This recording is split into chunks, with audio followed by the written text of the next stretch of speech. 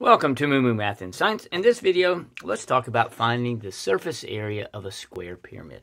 Okay, I'm going to show you two different ways. This first way is you use the base area plus 4 times 1 half base times height. And the reason why you use 1 half base times height is because that's the area of finding of a triangle. Okay, remember you have height, you have base.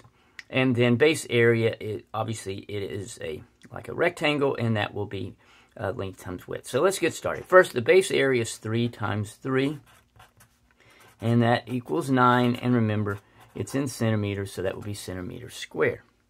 Now, let's go, first, let's go 1 half base times height. So you have 1 half times the base, and the base is 3. And notice that you have 4 of these. That's why you multiply it by 4. So I'm going to go 3 times 5 and 1 half times 3 is 1.5 times 5 is 7.5. And again, that's going to be centimeters square. Now I have to go 4 times 7.5. Okay. And the reason, again, the reason why we're doing this is that you have four of these, because here's this pyramid if you unfold it. So 4 times 7.5 is 30 centimeters square. So I'm going to add these together. 9 plus 30 equals 39 centimeters squared. Okay, that's technique number one. Let's look at another way to do this.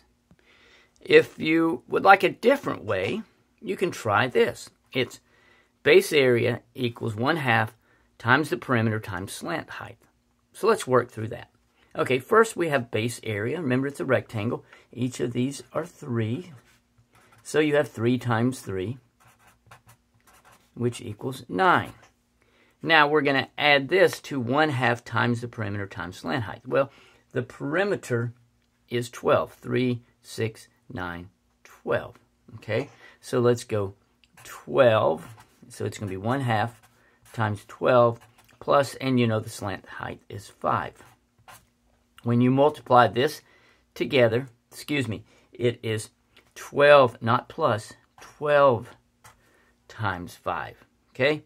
When you multiply 12 times 5, okay, when you multiply 12 times 5, that equals 60.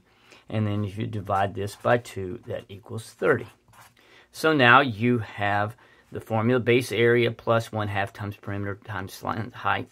So you're going to have 9 plus 30, which equals 39. And remember, it is centimeters square. So I hope that helps two different ways to find the surface area of a square pyramid. Remember, kindness multiplies kindness. Be kind to someone today.